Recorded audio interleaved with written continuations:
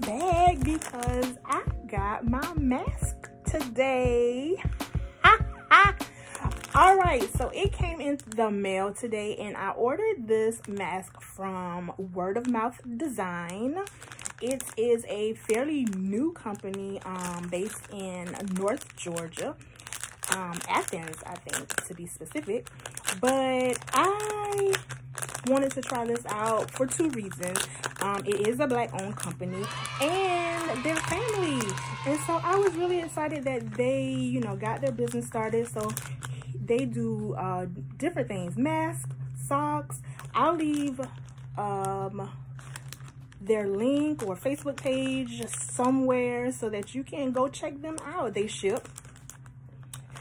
So I was on their site and I saw that they were doing HBCUs. Oops. So guys, if y'all don't know what HBCU is, you need to go Google it. Historically black colleges and universities. And I went to one. So as you can see, this one is Albany State Golden Rams. Yes, yes, yes. So the thing that just fell out um, I don't know if that's like a filter, maybe not. But anyway, I'm about to try it. I'm about to try it. It's so soft and nice. I like it. Okay.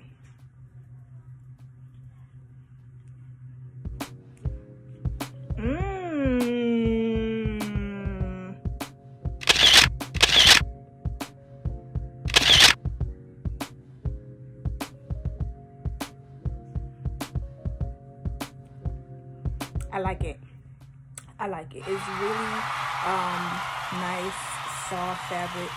I like it. They did an excellent job. And they, um, like I said, go check them out. They have socks, shirts. Um, I think I recently saw them doing car tags. They have the mask.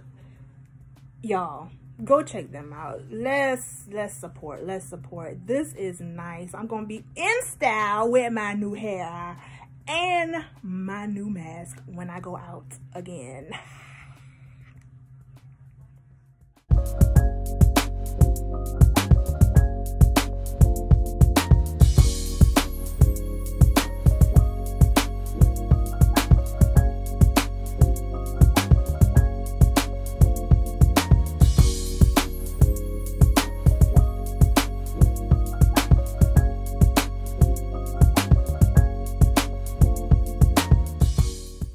Go find them on Facebook.